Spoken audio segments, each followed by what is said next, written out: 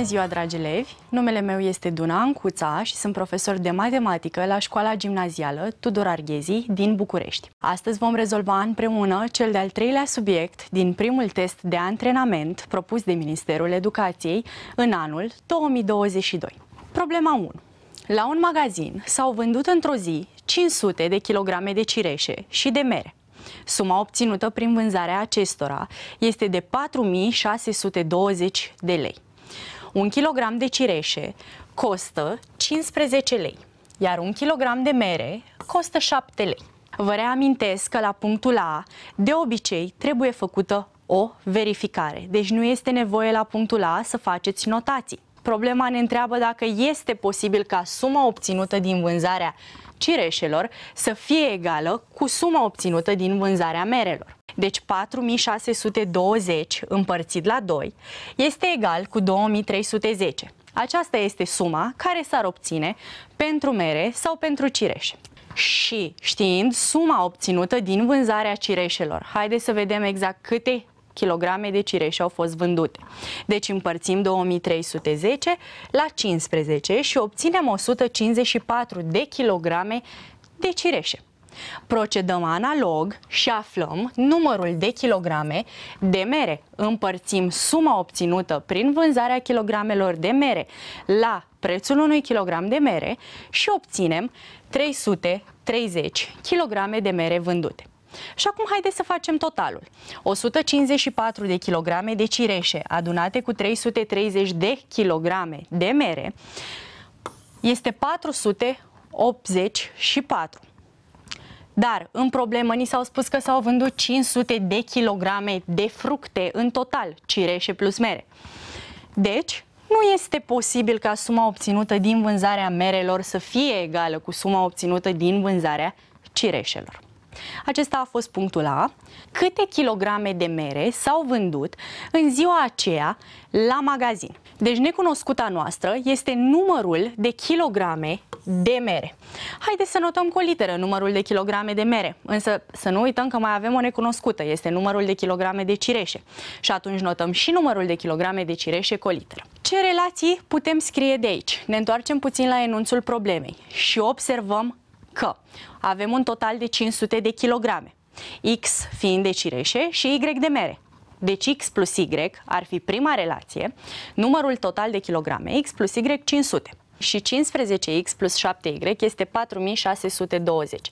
Avem un sistem de ecuații cu două necunoscute. Haideți să înmulțim cu 15 pentru a scăpa de x, pentru că de fapt pe noi ne interesează să-l aflăm pe y. y este numărul de kilograme de mere și atunci obținem 15x plus 15y egal cu 7500. Cea de-a doua relație este copiată, tragem bară, facem scădere și obținem 8y egal cu 2880. Îl mutăm pe 8 în partea dreaptă cu împărțire și obținem că y este 360. Problema 2. Se consideră expresia e de x egal cu 4x plus 3 totul la pătrat, plus 2x minus 4 pe lângă 4x plus 3 și plus x minus 2 totul la pătrat, unde x este număr real. La punctul A, verifică dacă e de minus 3 este pătratul unui număr natural. Nu avem decât să înlocuim x-ul în expresie cu minus 3, să facem calculele și să vedem dacă obținem sau nu pătratul unui număr natural. Vom avea 4 înmulțit cu minus 3 plus 3 totul la pătrat, plus 2 înmulțit cu minus 3 și minus 4, înmulțit cu 4 înmulțit cu minus 3 plus 3 totul într-o paranteză, bineînțeles, și minus 3 minus 2 la pătrat egal cu Facem calculele, 4 ori minus 3 este minus 12 și în rest copiem. Apoi înmulțim 2 cu minus 3 și obținem minus 6. Înmulțim din nou 4 cu minus 3, obținem minus 12, iar minus 3 minus 2 este minus 5. Și atunci, minus 12 plus 3 este minus 9, punem la pătrat, minus 6 minus 4 este minus 10, minus 12 plus 3 este minus 9, iar minus 5 la puterea a doua este plus 25 pentru că minusul la putere pară se transformă în plus. Și atunci, minus 9 la puterea a doua, pe același principiu, este 81, ridicăm și minusul și 9 la puterea a doua, Minus 10 ori minus 9, atenție la regula semnelor, este plus 90 și copiem plus 25. Atunci vom avea 81 plus 90 care este 171 plus 25 care face 196. Și acesta este momentul în care citim din nou enunțul problemei. Ni se spune să verificăm dacă e de minus 3 este pătratul unui număr natural. Ei bine, 196 este într-adevăr pătratul unui număr natural, este pătratul lui 14, 14 fiind număr natural. Puteți verifica și voi, 14 la puterea a doua este 196. Să ne mutăm la punctul B. Ni se spune să determinăm numărul natural n pentru care radical din e de n este mai mic sau egal decât 3. Ei bine, noi nu știm cine este e de n, nici măcar e de x nu știm cine este pentru că încă nu l-am calculat. Acum este momentul când calculăm e de x. Și eu vă propun să copiem expresia, după care să o analizăm foarte bine, pentru că se întâmplă un lucru interesant. Aici avem 4x plus 3 la pătrat, dar 4x plus 3 apare și în cel de-al doilea termen. Acest lucru ne duce cu gândul la faptul că am putea restrânge această expresie într-o sumă de numere la puterea a doua. Dar pentru asta am avea nevoie ca în termenul din mijloc să găsim și un x minus 2. Și îl găsim dând factor comun 2 în prima paranteză, în paranteza 2x minus 4. Deci vom avea 2 pe lângă x minus 2, pe lângă 4x plus 3. Și atunci aplicăm formula a plus b la pătrat este a pătrat plus 2ab plus b pătrat și o aplicăm în sens invers, adică a-ul nostru va fi 4x plus 3 și b-ul va fi x minus 2 și restrângem. Acum vom desface parantezele și obținem 4x plus 3 plus x minus 2. Facem calculele 4x plus x este 5 și 3 minus 2 este 1 și deci e de x este 5x plus 1 la pătrat. Putem să-l aflăm pe e de n. Bineînțeles, nu facem decât să îl înlocuim pe x din e de x cu n și obținem 5n plus 1 la pătrat. Trebuie să determinăm numărul natural n pentru care e de n este mai mic sau egal decât 3. Mare atenție, numărul n este număr natural. Haideți să facem și noi radical din e de n. Este radical din 5n plus 1 la pătrat. Radical dintr-un număr la pătrat este de fapt modulul acelui număr. Nu știm dacă 5n plus 1 este pozitiv sau negativ, de asta scoatem în modul. N este număr natural și 5 este număr natural și 1 este număr natural, deci evident 5n plus 1 este număr natural. Deci putem desface modulul fără griji și să spunem că modul de 5n plus 1 este de fapt 5n plus 1. Știm că radical din e de n era mai mic sau egal decât 3. Deci 5n plus 1 este mai mic sau egal decât 3. Îl trecem pe 1 în partea dreaptă cu scădere și 3 minus 2 face 2. Apoi împărțim la 5 și obținem că n este mai mic sau egal decât 0,4. Însă nu uităm, n este număr natural și deci singura variantă pentru n este 0. Se consideră numerele reale x egal cu radical din 144 plus 2 radical din 18 minus radical din 3 la pătrat și y egal cu radical din 5 minus radical din 3 la pătrat minus radical din 72 plus radical din 5 plus radical din 3 totul la pătrat minus 7. Punctul A arată că x este egal cu 9 plus 6 radical din 2. Haideți să-l copiem pe x și apoi să rezolvăm. Radical din 144 este 12, pentru că 12 la pătrat este egal cu 144. Apoi, pentru a scoate de sub radical, haideți să-l descompunem pe 18, cu 2, 9, cu 3, 3, 3 și 1, deci iese un 3 de subradical, iar 2 rămâne subradical. Aici a ieșit 3 de subradical și bineînțeles se va înmulți cu 2-ul care deja era în fața lui radical din 18, iar radical din 3 la pătrat, bineînțeles, face 3. Facem înmulțirea lui 2 cu 3 și facem 12 minus 3, obținem 9 și plus 6 radical din 2. Exact ceea ce ni se cerea la punctul A al problemei. La punctul B arată că produsul numerelor x și y este număr natural. Pentru a calcula produsul numerelor x și y, trebuie mai întâi să-l calculăm pe y. L-am copiat aici pe y și haideți să vedem cum îl calculăm. Pentru prima paranteză vom aplica formula a minus b totul la pătrat, iar pentru a doua paranteză vom aplica formula a plus b totul la pătrat. La 72 vom descompune și vom scoate de sub radical, iar pe minus 7 pur și simplu îl copiem. Deci vom avea radical din 5 la pătrat minus 2 ori radical din 5 ori radical din 3 și plus radical din 3 la pătrat pentru prima paranteză. Pentru 72, eu vă propun să scriem radical din 72 ca fiind radical din 36 ori 2, care este radical din 36 ori radical din 2. Radical din 36 face 6 și deci radical din 72 este 6 radical din 2. L-am scris aici. Și pentru următoarea paranteză avem radical din 5 la pătrat plus 2 ori radical din 5 ori radical din 3 și plus radical din 3 la pătrat. Nu uităm să îl copiem pe minus 7. Acum doar facem calculele. Radical din 5 la pătrat este 5. Aici înmulțim radical din 5 cu radical din 3 și obținem radical din 15. Radical din 3 la pătrat este 3. Copiem minus 6 radical din 2. Radical din 5 la pătrat este 5. Din nou înmulțim radical din 5 cu radical din 3. Iar radical din 3 la pătrat este 3 și îl copiem pe minus 7. Acum facem calculele. 5 se adună cu 3, obținem 8. Se adună cu 5, obținem 13 cu încă un 3, 16 și minus 7 este 9. Apoi, minus 2 radical din 15 cu 2 radical din 15 dispar pentru că obținem 0 și pe minus 6 radical din 2 îl copiem. Deci Y este 9 minus 6 radical din 2. La punctul B ni se cere să arătăm că produsul numerelor X și Y este număr natural. Facem produsul, am scris X înmulțit cu Y, obținem aceleași numere în ambele paranteze, însă odată este plus între ele, odată minus, lucru care ne spune că putem aplica o diferență de pătrate.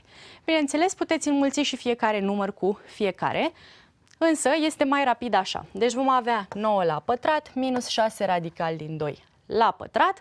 9 la pătrat este 81, 6 radical din 2 dacă le ridicăm la pătrat este chiar 72-ul de la început, 81 minus 72 este 9, rezultatul este număr natural, deci am făcut exact ceea ce ni se cerea la punctul B. Problema 4. În figura alăturată este reprezentat trapezul dreptunghic ABCD, haide să punem rapid unghiurile de 90 de grade, cu AB paralel cu CD, AB de 12 cm, o să punem așa, 12, BC egal CD egal 8, punem 8 și 8, iar unghiul A are măsura de 90 de grade, noi deja am pus. La punctul A arată că AD este 4 radical din 3 cm. Acum, majoritatea problemelor cu trapez se pot rezolva în momentul în care ducem înălțimile. Și haide să ducem înălțimea din C, să spunem că este CH. Da? Deci fie CH perpendicular pe AB, cu H aparține lui AB. Și să demonstrăm că patrulaterul AHCD este de fapt un dreptunghi. De ce? Pentru că are trei unghiuri de 90 de grade, lucru pe care l-am scris aici. Deci ADCH dreptunghi, Fapt care ne spune de fapt că AD pe care noi vrem să-l aflăm este congruent cu CH. Deci odată ce l-am aflat pe CH, l-am aflat și pe AD și ne mai spune încă un lucru important, faptul că DC este egal cu AH, deci fiecare are câte 8 cm. Acum, haideți să mergem în triunghiul CHB, dreptunghic, unde cunoaștem ipotenuza de 8 și să aflăm HB. HB este de fapt diferența dintre AB și AH. Deci este 12 minus 8, adică este 4 cm și punem acest lucru pe desen. Deci triunghiul CBH este dreptunghic, cunoaștem ipotenuza, cunoaștem o catetă și deci aplicăm teorema lui Pitagora pentru a afla cateta CH. Am aplicat teorema lui Pitagora, suma pătratelor catetelor este egală cu pătratul ipotenuzei, facem calculele și obținem că HC este radical din 48, care este chiar 4 radical din 3 cm. Din nou, pentru 48 putem aplica metoda pe care am aplicat-o mai devreme. Radical din 48 se poate scrie ca radical din 16 ori 3, adică radical din 16 ori radical din 3, care este 4, radical din 3 centimetri pe care trebuia să-i aflăm la punctul A. Calculează aria triunghiului ABM, unde AD intersectat cu BC este punctul M. Ne întoarcem la figura noastră. Deci, AD intersectat cu BC este punctul M și noi trebuie să aflăm aria triunghiului ABM. Dacă ne uităm pe figură, triunghiul ABM este triunghi dreptunghic, deci îi putem face aria cu formulă catetă ori catetă supra 2. Deja știm cateta AB, mai trebuie să aflăm cateta AM. Haideți să analizăm puțin desenul și să observăm că DC este paralel cu AB, fapt care ne dă voie să aplicăm teorema fundamentală a asemănării și să spunem că triunghiul MDC este asemenea cu triunghiul MAB. Iar de acolo ne vom scrie rapoartele care ne vor ajuta să îl aflăm pe MD.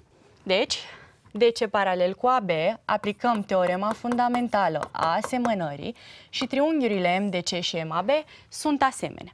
De unde scoatem rapoartele MD pe MA egal cu DC pe AB și MC pe MB.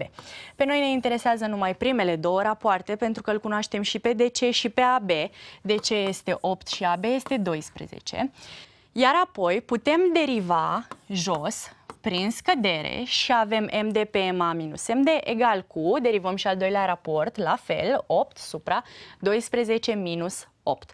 Deci obținem MD pe DA egal cu 8 pe 4, care de fapt este 2, iar pe DA îl cunoaștem este 4 radical din 3. Deci pentru a-l scoate pe MD, scriem că MD este 2 înmulțit cu 4 radical din 3, adică 8 radical din 3 centimetri. Ne întoarcem pe desen L-am aflat pe MD, am zis că este 8 radical din 3. Pe DA l-am aflat la punctul A, este 4 radical din 3.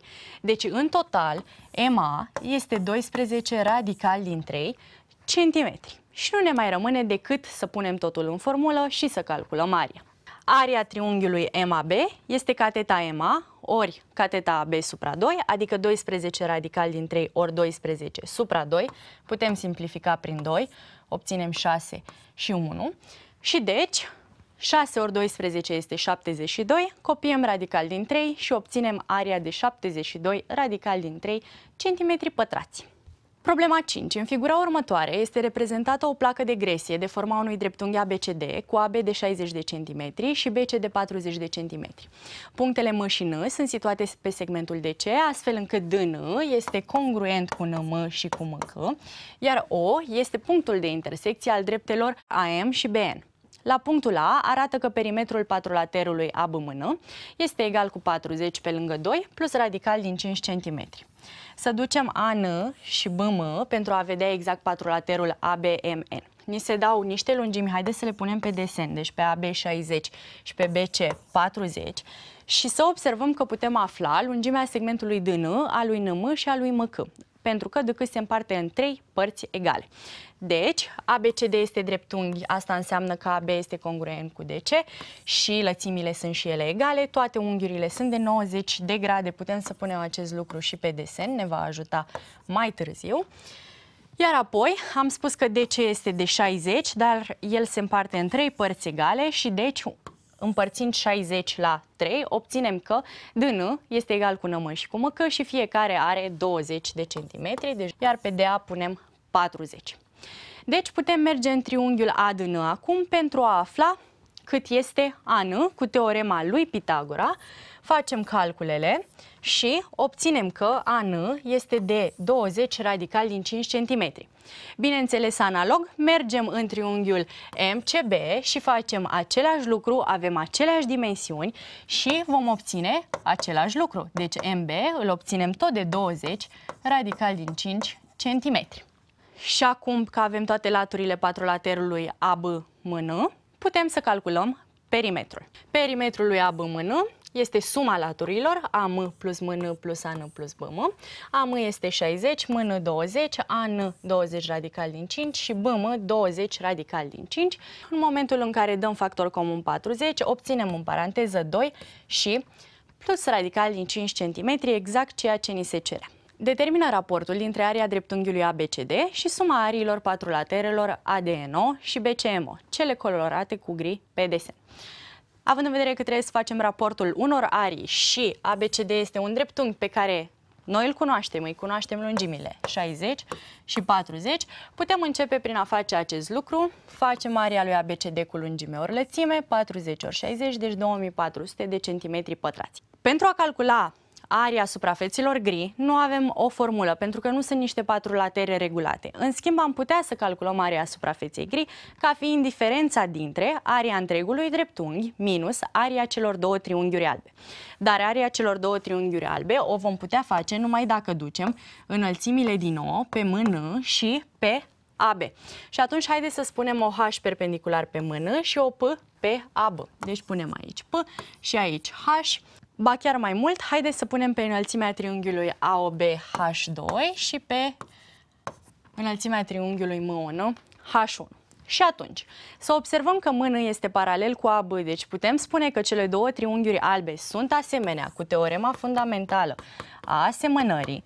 Scriem rapoartele și putem folosi proprietatea că raportul înălțimilor triunghiurilor asemenea este egal cu raportul de asemănare. Deci vom obține egalitate și cu H2 pe H1. Să scriem acum că 60 pe 20, pentru că AB e 60 și mână este 20, este egal cu H2 supra H1.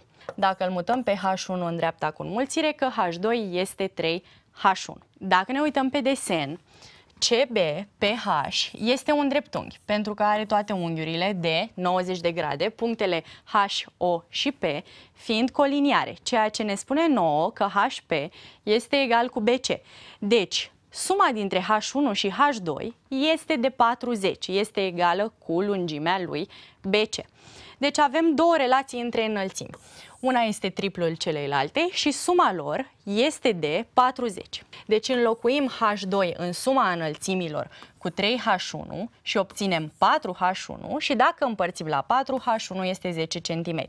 Și așa îl aflăm și pe H2 care este triplul lui H1, deci 3 ori 10, 30.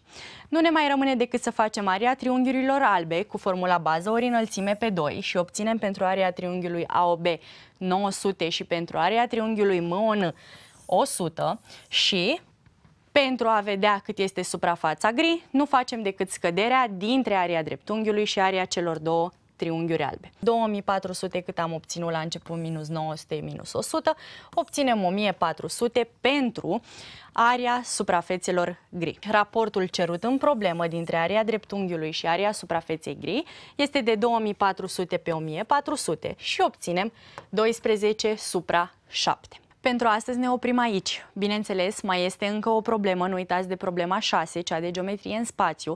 Această problemă vă rămâne vă o temă și de-abia aștept să aud ce idei interesante ați avut. Eu vă mulțumesc pentru atenție, vă urez spor la învățat și succes la evaluarea națională.